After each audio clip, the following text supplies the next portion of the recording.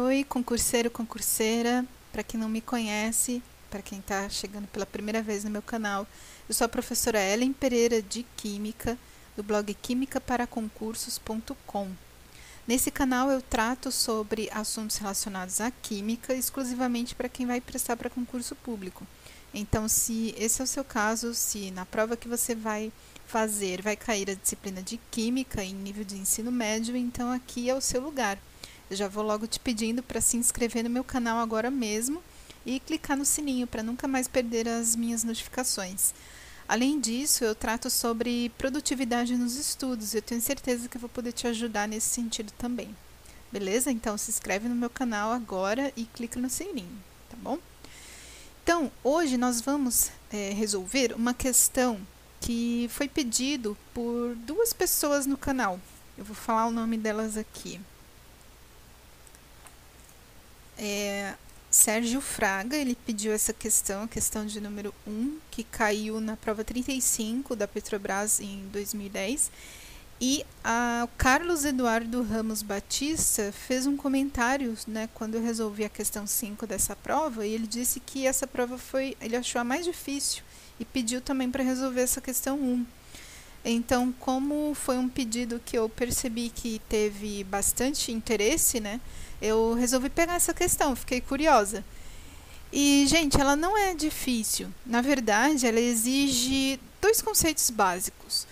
O primeiro é você conseguir reconhecer uh, quando uma reação de oxirredução acontece. Então, você vai saber isso através do quê?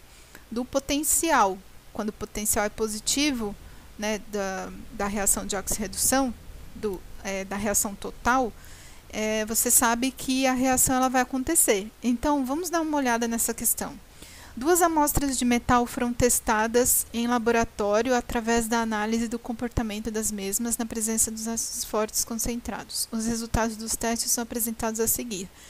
Eu falei que são dois conceitos, né? Então, o primeiro é esse, relacionado ao potencial de da, da reação acontecer, que tem que ser positivo, e o outro está relacionado à fila de reatividade de metais.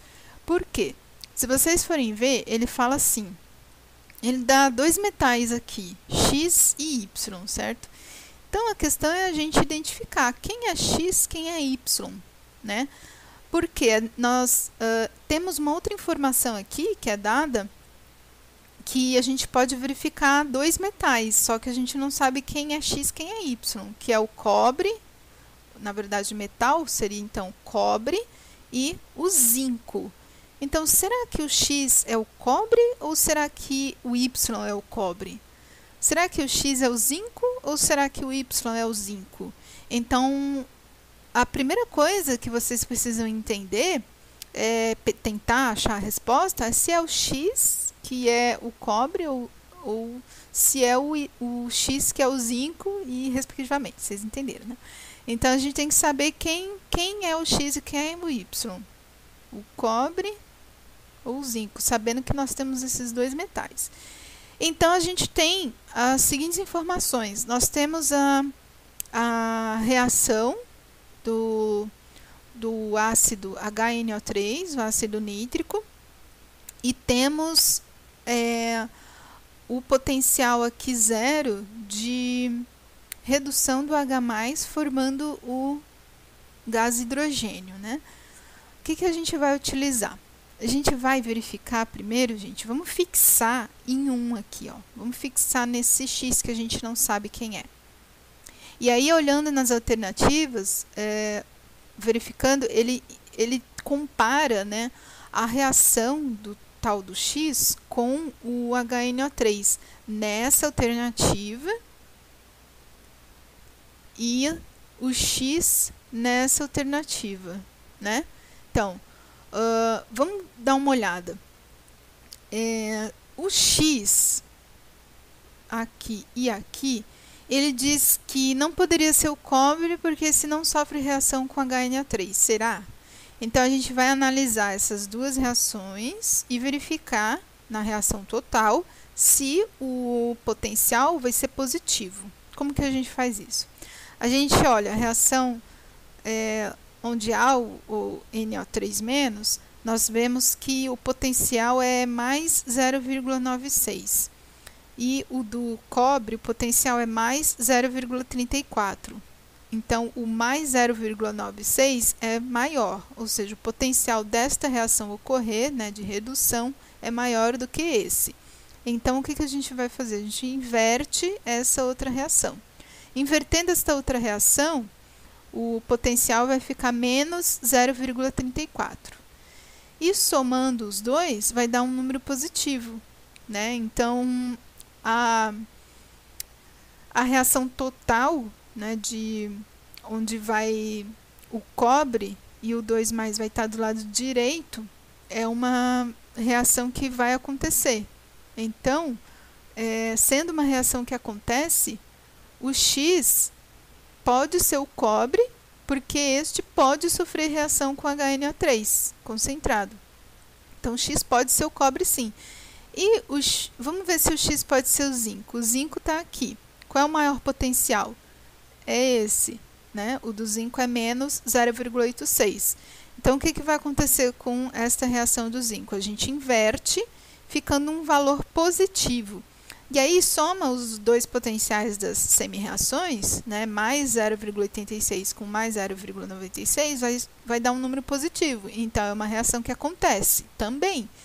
Ou seja, o X também pode ser o zinco, como também pode ser o cobre, porque tanto o zinco quanto o cobre reagem com o HNO3. A gente viu isso como? Nós vimos através da, da comparação dos potenciais. Né? O potencial sendo positivo para a reação total, vai ocorrer então aquela reação de oxirredução.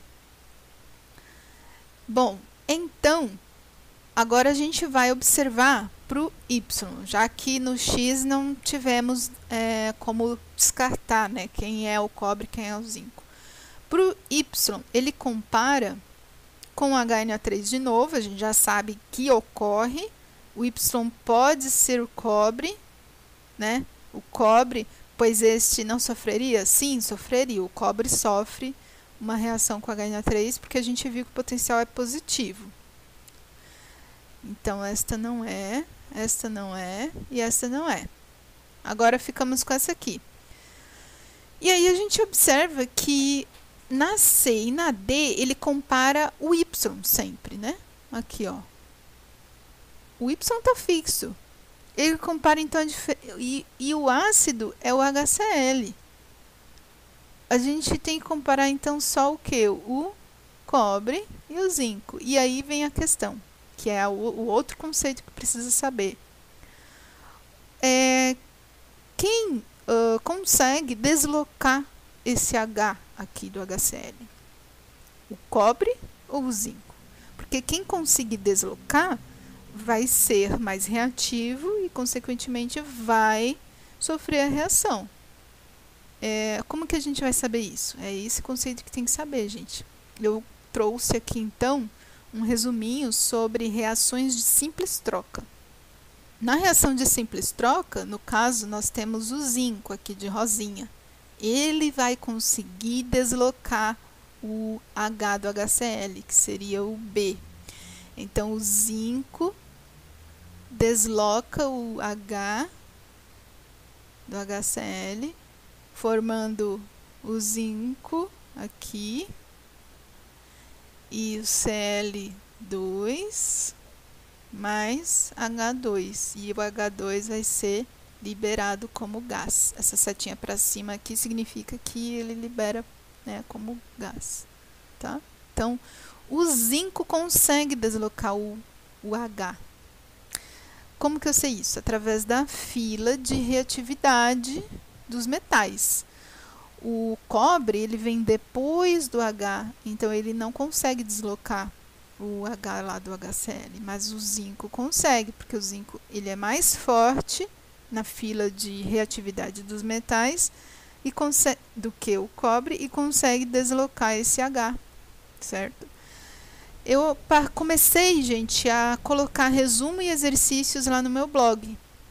Então, para acessar resumo sobre esse assunto específico, vocês podem ir lá em quimicaparaconcursos.com barra Química Ensino Médio, tudo junto, tá?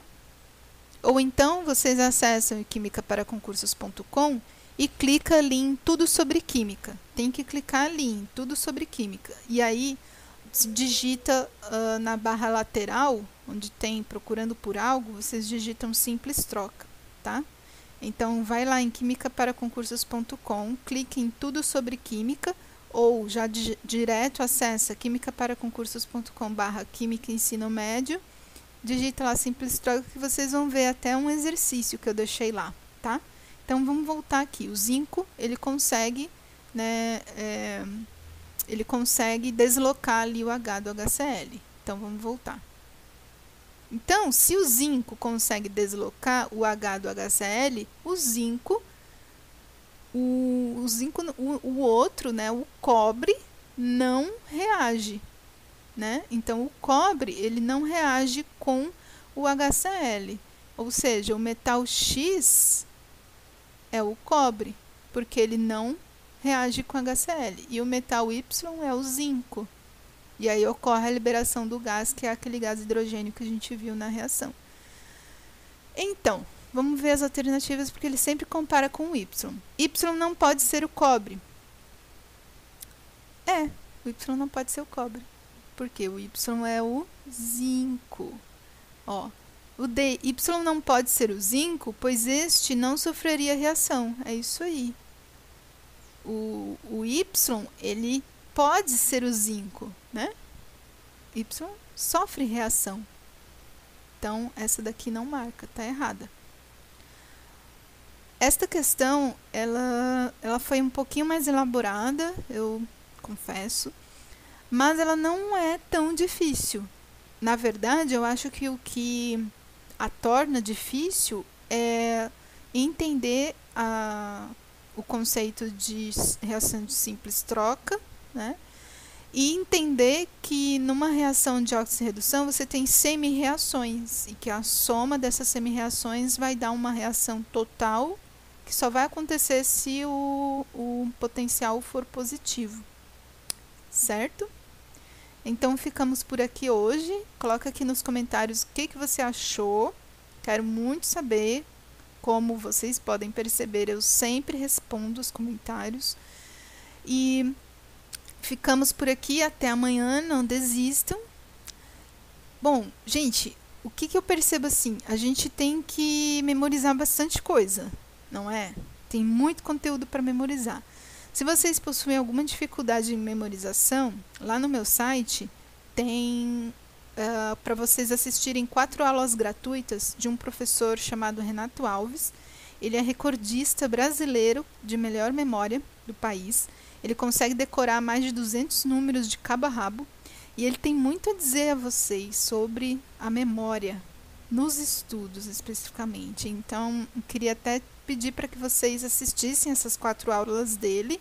É só ir lá no meu site químicaparaconcursos.com, deixa o seu e-mail lá em cima, no topo tem é, para vocês colocarem o um e-mail e vocês vão assistir essas quatro aulas maravilhosas desse professor que eu tenho certeza que, eles, que ele vai conseguir te ajudar nesse sentido em memorização, tá bom? É muita matéria, né? E com quanto mais estratégias para a gente conseguir memorizar em curto prazo, melhor, não é? Então vai lá no meu site, coloca lá seu e-mail, assiste as quatro aulas e bons estudos. Nos vemos amanhã. Tchau, gente.